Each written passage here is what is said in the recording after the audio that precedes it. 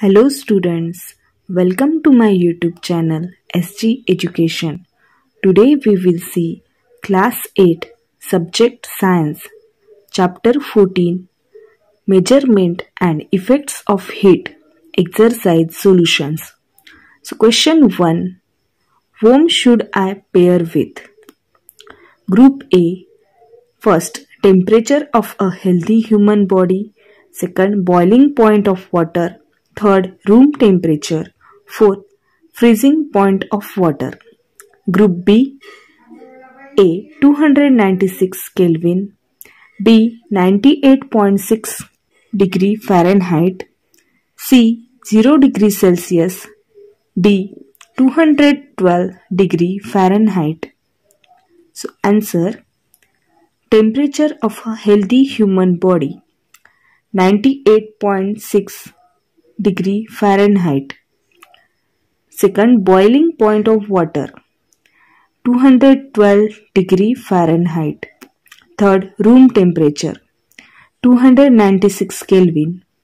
Four, freezing point of water 0 degree Celsius. Question 1b Who is telling the truth? Question A The temperature of a substance is measured in joule. Answer False. The temperature of a substance is measured in degree Celsius or degree Fahrenheit. Question B. Heat flows from an object at higher temperature to an object at lower temperature. Answer True. Question C. The joule is the unit of heat. Answer True. Question D. Objects contract on heating. Answer False. In general, objects expand on heating. There are some exceptions to this. You will learn about them in Standard X. 10. Question E. Atoms of a solid are free. Answer False. Atoms of a solid are bound to each other due to the forces acting between them. Question F. The average kinetic energy of atoms in a hot object is less than the average kinetic energy of atoms in a cold object. Answer False. The average kinetic energy of atoms in a hot object is more than the average kinetic energy of atoms in a cold object. Question C. You will find if you search. Question A. A thermometer is used to measure. Answer. A thermometer is used to measure temperature. Question B. The apparatus used to measure heat is called a. Answer. The apparatus used to measure heat is called calorimeter. Question C. Temperature is the measure of the fill in the blank of kinetic energy of the atoms in a substance. Answer.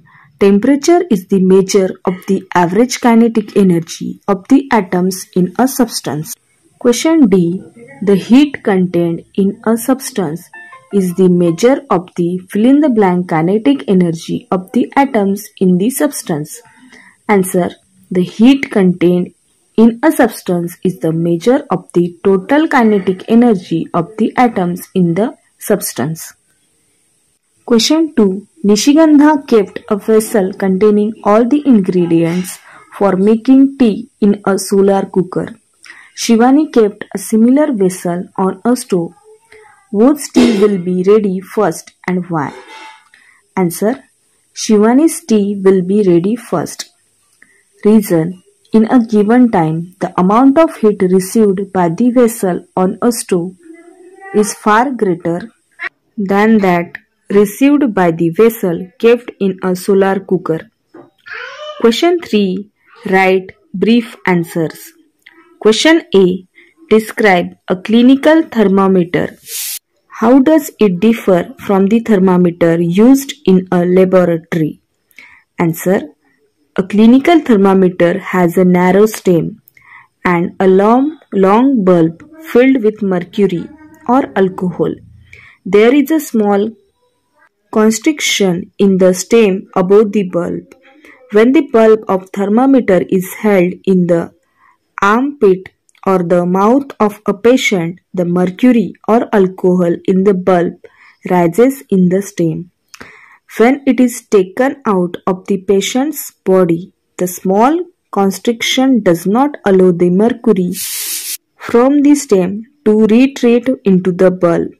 Thus, this arrangement enables us to read the temperature of the patient's body at ease after the removal of the thermometer from his body.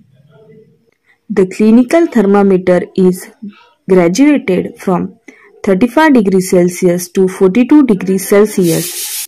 At 37 degrees Celsius, there is a red arrow mark which indicates the temperature of a healthy person. The thermometer used in a laboratory has wider range and does not have constriction like a clinical thermometer. Question B. What is the difference between heat and temperature? Answer. Heat is related to the total kinetic energy of the atoms in a substance while temperature is related to the average kinetic energy of the atoms in the substance. Heat flows from a body at higher temperature to a body, body at lower temperature. Thus, temperature is a quantity that determines the direction of flow of heat. It is a quantitative measure of the degree of hotness or coldness of a body. Higher temperature does not mean higher heat content.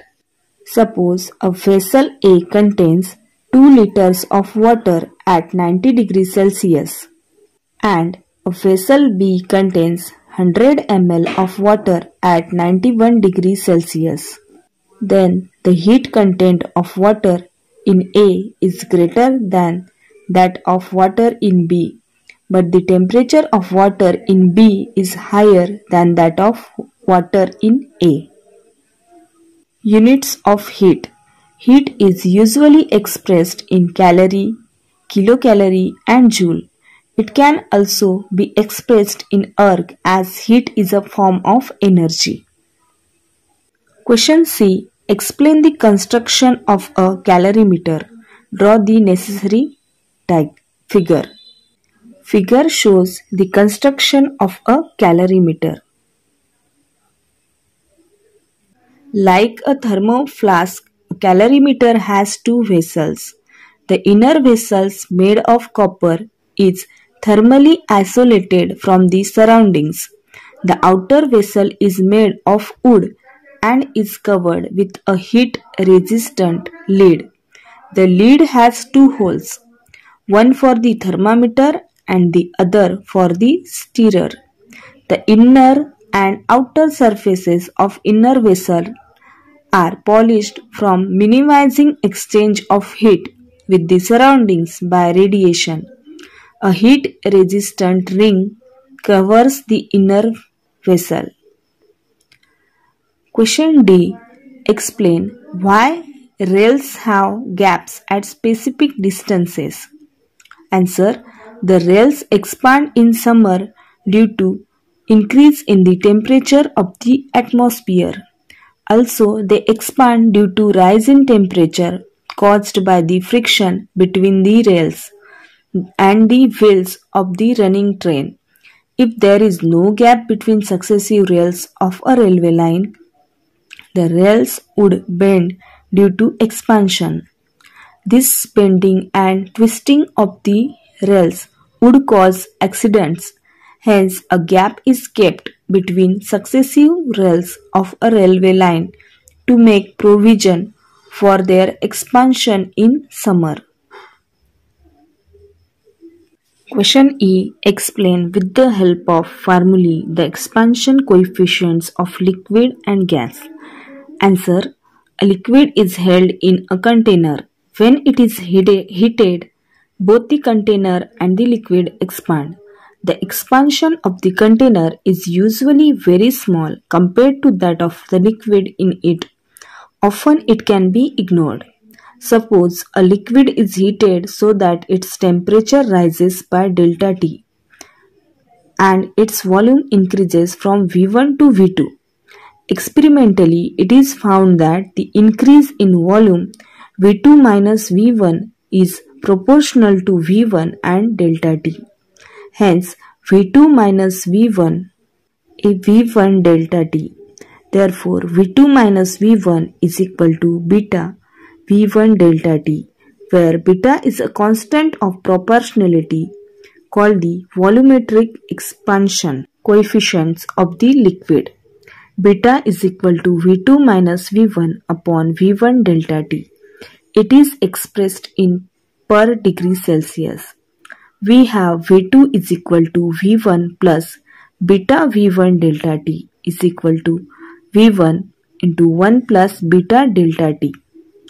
Beta is the increase in volume of liquid per unit original volume per unit rise in its temperature. A gas is enclosed in a container.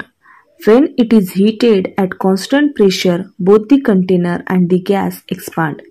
Suppose a gas is heated at constant pressure so that its temperature rises by delta T and its volume increases from V1 to V2.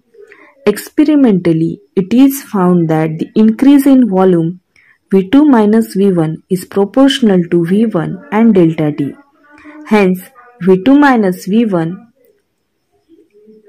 a de V1 delta T.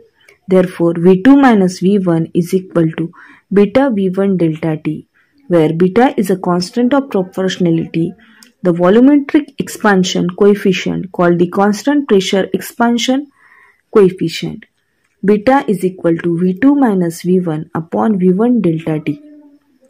It is expressed in per degree Celsius we have V2 is equal to V1 plus beta V1t is equal to V1 into 1 plus beta delta T. Beta is the increase in the volume of a gas per unit original volume per unit rise in its temperature when the pressure is kept constant.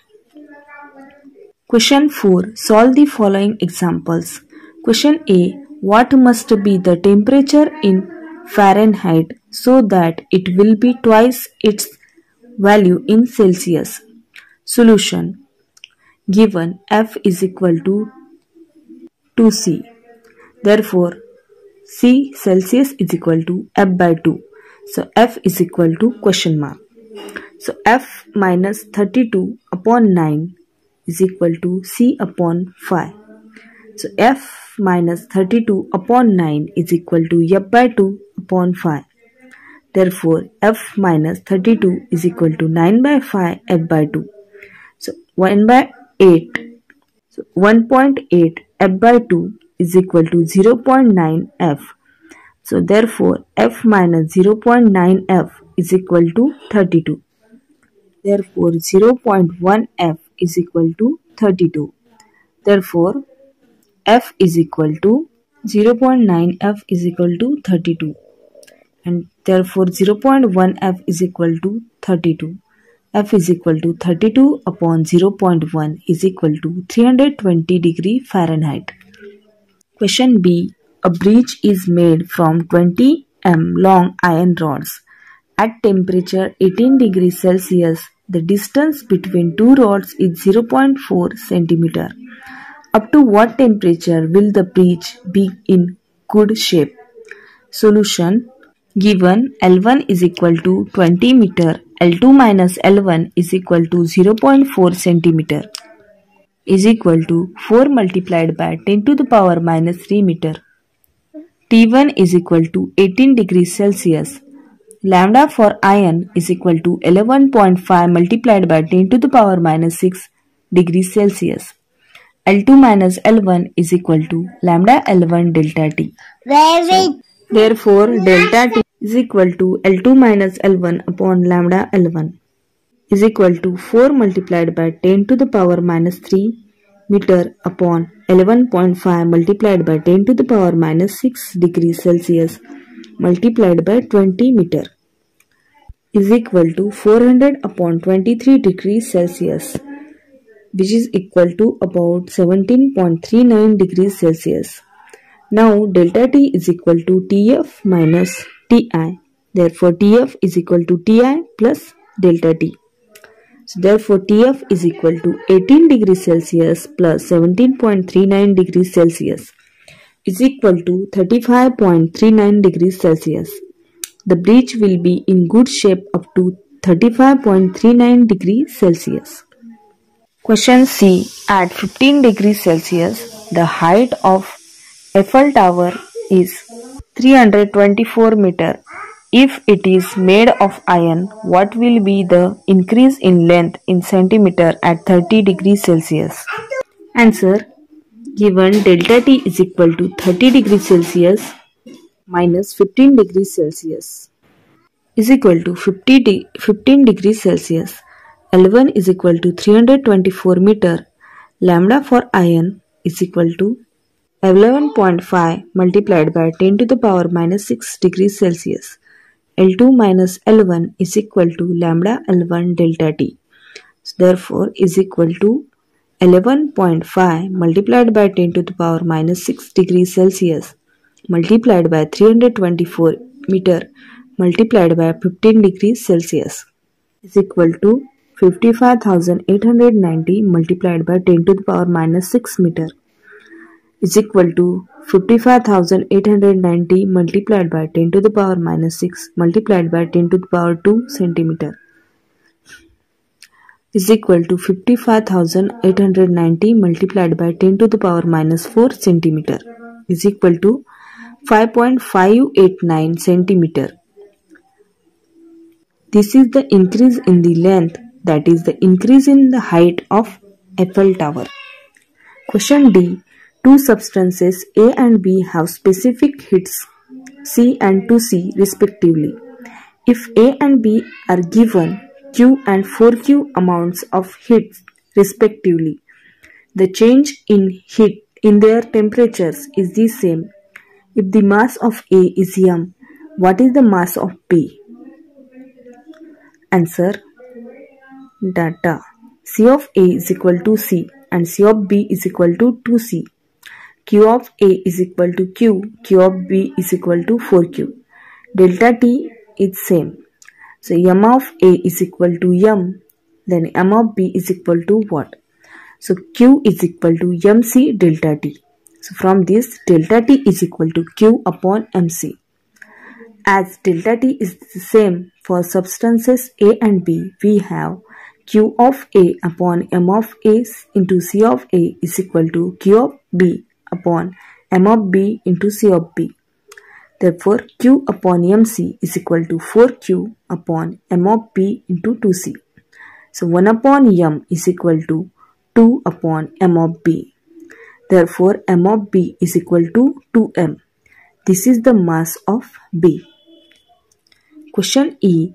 When a substance having mass 3 kg receives 600 calorie of heat, its temperature increases by 10 degrees Celsius. What is the specific heat of the substance? Answer. M is equal to 3 kg is equal to 3000 gram. Q is equal to 600 calorie. Delta T is equal to 10 degrees Celsius. C is equal to question mark. So Q is equal to MC into delta T. So therefore C is equal to Q upon M delta T is equal to 600 calorie upon 3000 gram multiplied by 10 degrees Celsius. So after calculating we get is equal to 0. 02 calorie or gram degree Celsius. This is the specific heat of the substance. Our chapter 14 measurement and effects of heat exercise solutions are completed.